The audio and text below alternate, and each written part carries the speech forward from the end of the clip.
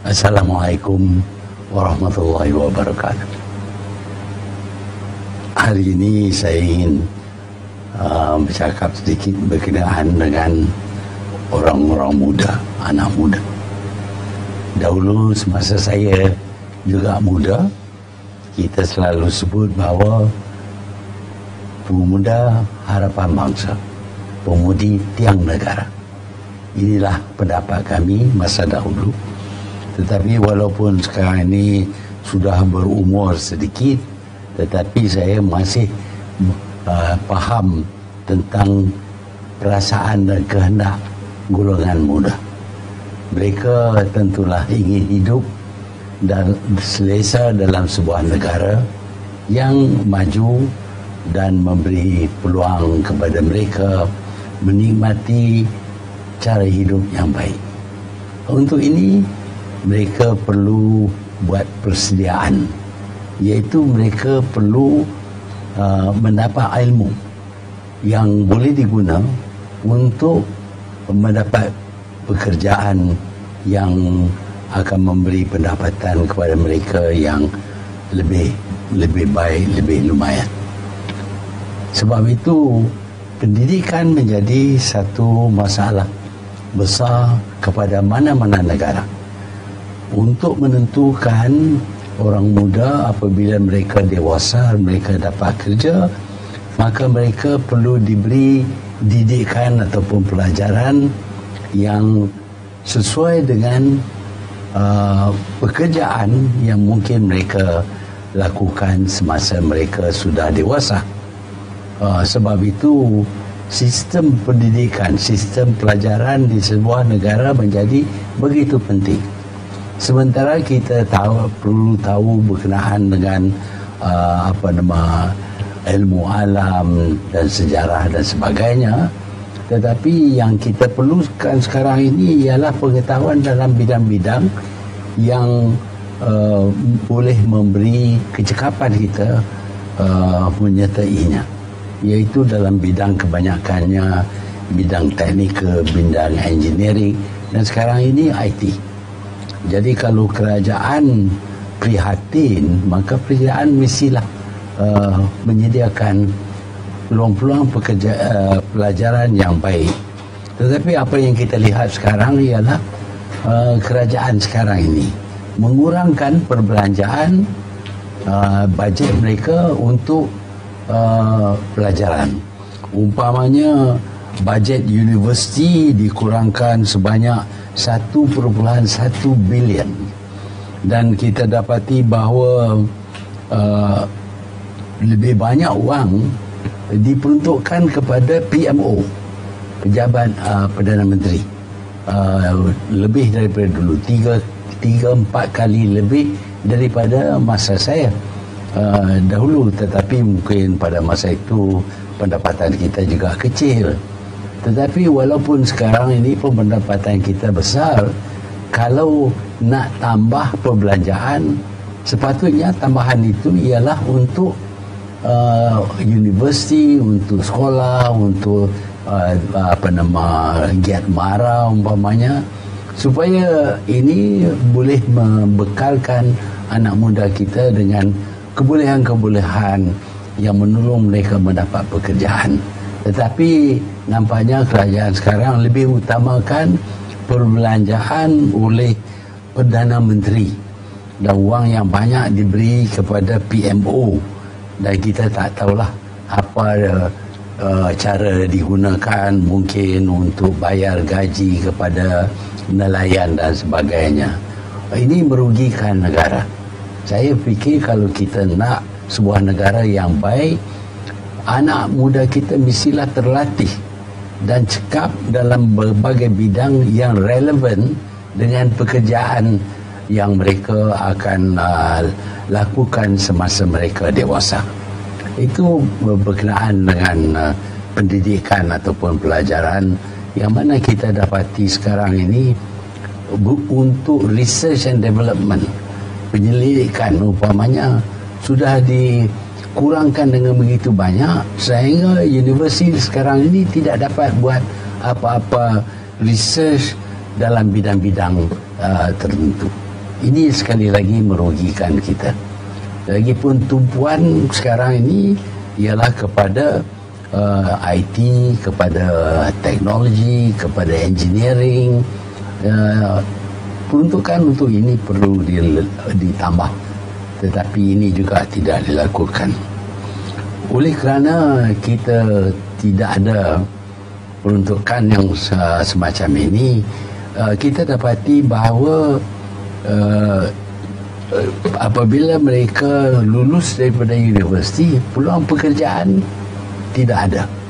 Kerana kena ada penyesuaian antara ilmu yang mereka miliki dengan pekerjaan yang mereka akan uh, uh, buat semasa dewasa untuk mendapat gaji kita dapati bahawa pengangguran di kalangan pemuda sekarang ini amat tinggi sekali uh, di kalangan orang muda Uh, pengangguran tiga kali lebih banyak daripada national average. National average setakat 3% tapi di kalangan pemuda sampai 11%. Ini sepatutnya tidak berlaku sedemikian. Kita patut tentukan supaya uh, peluang pekerjaan uh, diadakan dalam negara supaya Uh, pemuda-pemuda apabila mereka lulus universiti ataupun daripada pusat-pusat latihan pusat-pusat uh, latihan seperti Giat Mara uh, mereka akan mempunyai peluang mendapat pekerjaan dengan gaji yang yang baik. Untuk gaji yang tinggi ini juga kita perlu kecekapan dalam bidang bidang teknologi moden. Yang ter, yang mana kita tahu sekarang ini kita ada dalam apa nama zaman ilmu uh, knowledge age. Jadi seseorang itu mestilah terlatih dalam bidang uh, apa nama electronics dan uh, computer content dan semacam dan lagi uh, yang mana ini akan memberi pendapatan yang lebih lumayan kepada anak muda.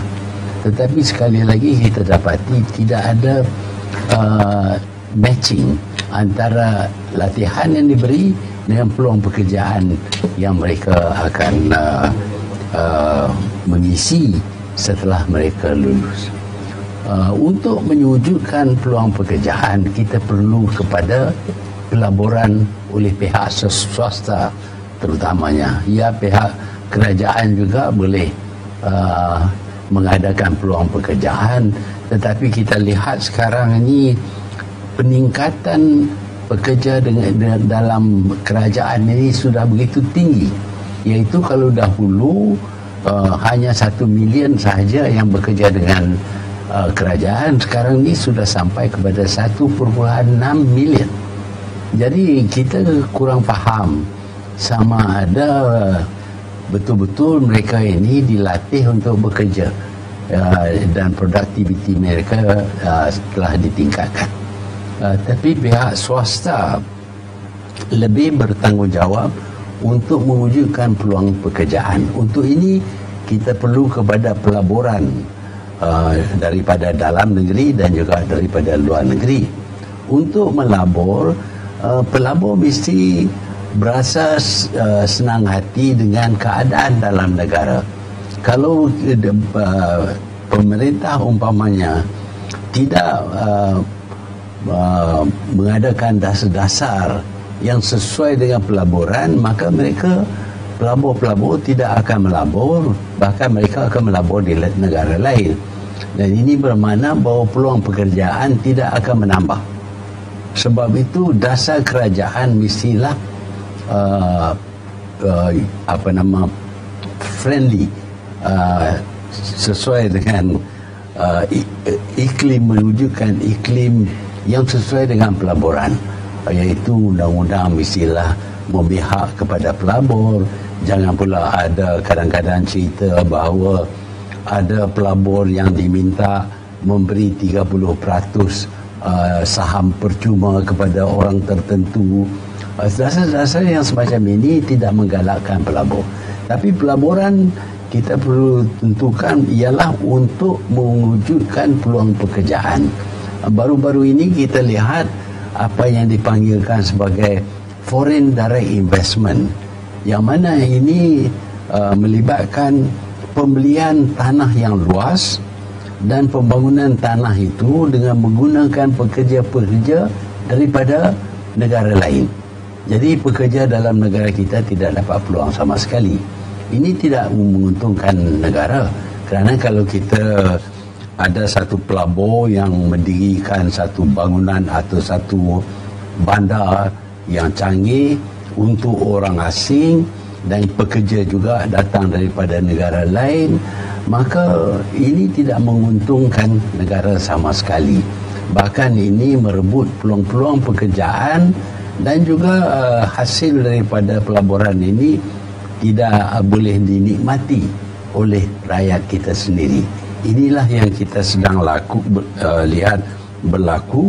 Umpamanya uh, bandar canggih akan didirikan di TRX dan di Sungai Besi dan bandar-bandar ini tidak akan diduduki oleh rakyat. Uh, peluang pekerjaan tidak ada dan wang yang banyak yang didapati oleh pekerja ini akan di uh, hantar balik ke negara mereka jadi kita tak dapat mana-mana uh, manfaat sama sekali daripada pelaburan. Pelaburan foreign direct investment ataupun local uh, daripada uh, domestik uh, perlu uh, tumpu pada pengujudan peluang pekerjaan dalam pembin, semasa pembinaan dan selepas disiap maka kilang-kilang ini akan mengambil pekerja tempatan khususnya mereka yang terlatih dalam bidang kejuruteraan dan elektronik dan sebagainya. Dan mereka ini akan mendapat pendapatan yang bertambah. Inilah jenis uh, investment pelaburan yang kita perlukan. Bukan untuk membeli tanah mendirikan Uh, bandar-bandar mewah yang tidak pun boleh diduduki oleh orang tempatan. Jadi ini amat penting. Tiga-tiga perkara ini, pendidikan, peluang pekerjaan dan pelaburan ada kaitan antara satu sama lain. Kalau kita tidak menumpukan perhatian kepada kaitan ketiga-tiga uh, bidang ini, maka kita akan dapat apa yang dikata mismatch. Tidak sesuai uh, latihan dengan peluang pekerjaan dengan pelaburan. Uh, jadi uh, kalau kita kerajaan uh, ingin uh, memberi peluang kepada anak muda kita, inilah yang sepatutnya menjadi tumpuan kerajaan. Terima kasih.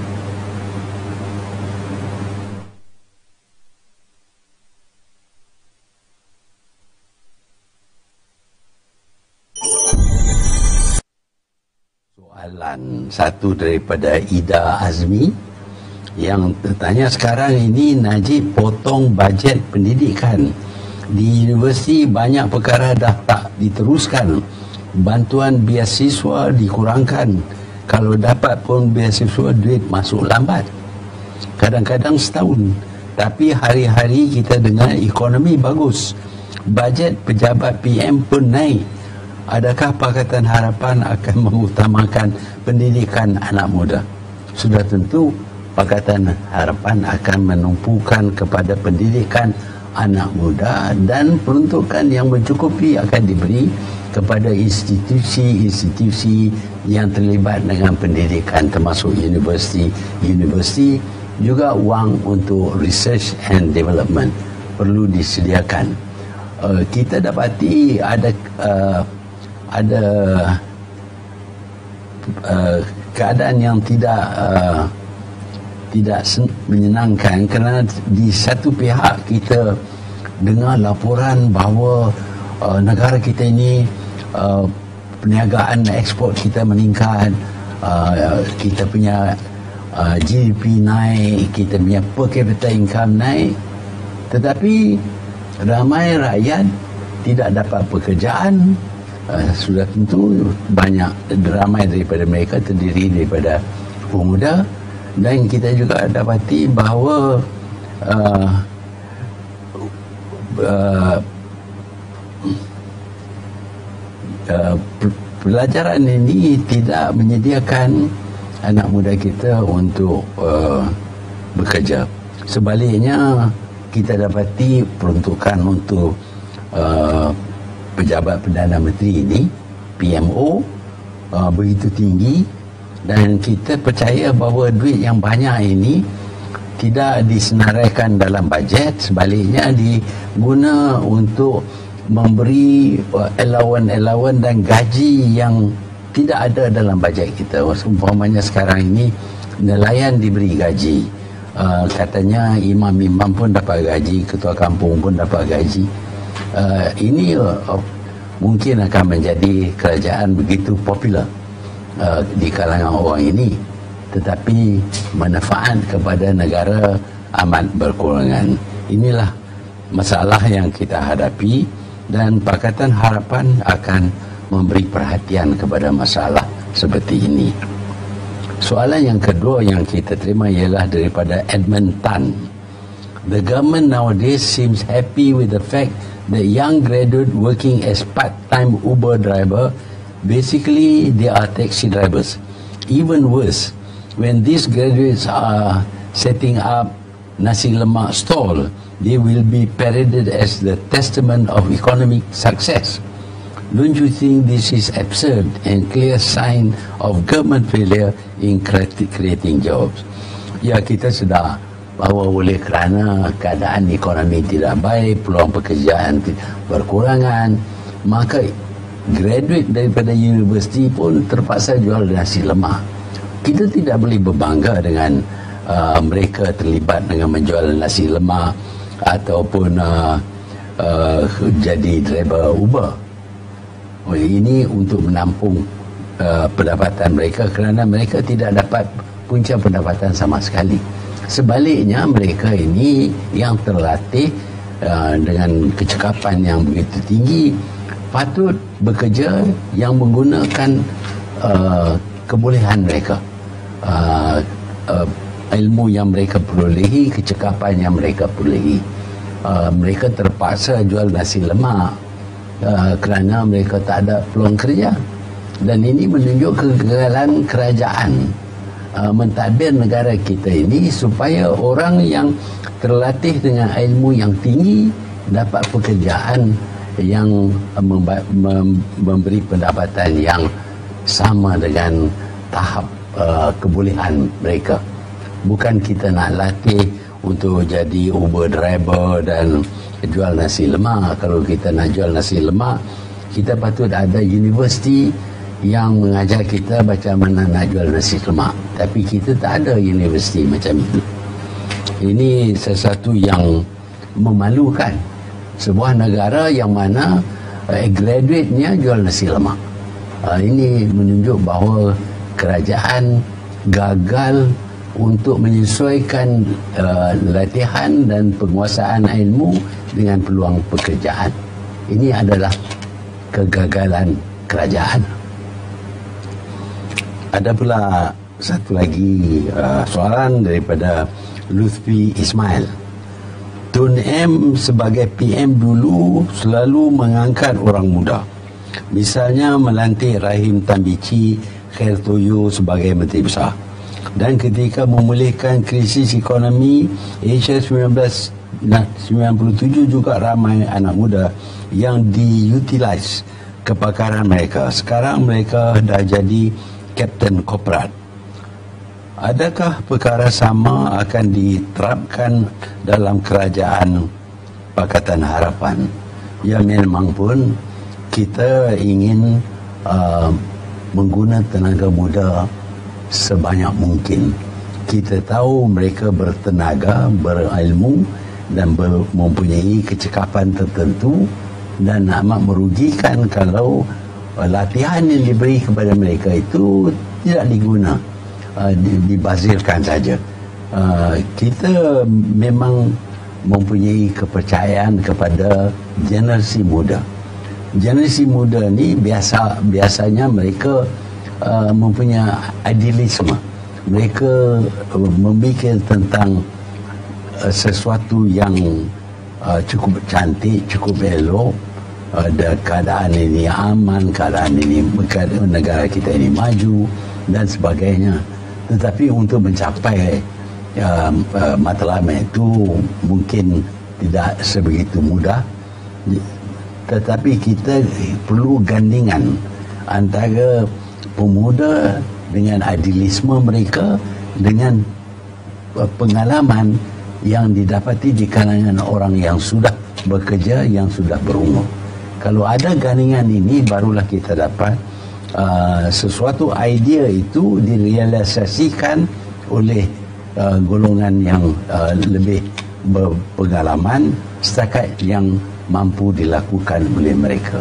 Jadi sementara kita mengalu-alukan peranan pemuda, kita tidak boleh uh, ketepikan pengalaman orang yang dewasa kerana pengalaman menjadi satu pengajaran yang baik kata dalam uh, bahasa Inggeris uh, uh, experience is the best teacher. Pengalaman itu adalah uh, uh, cara meng- mengajar kita yang terbaik sekali. Ini pepatah daripada orang barat dan yang juga sesuai dengan keadaan dalam negara kita. Jadi saya fikir orang muda mempunyai peluang untuk masa depan.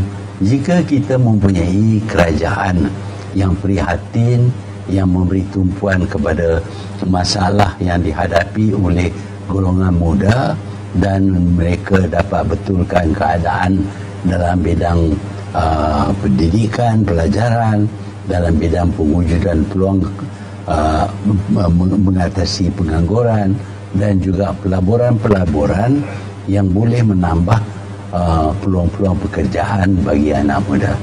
Sekian, terima kasih. Halo.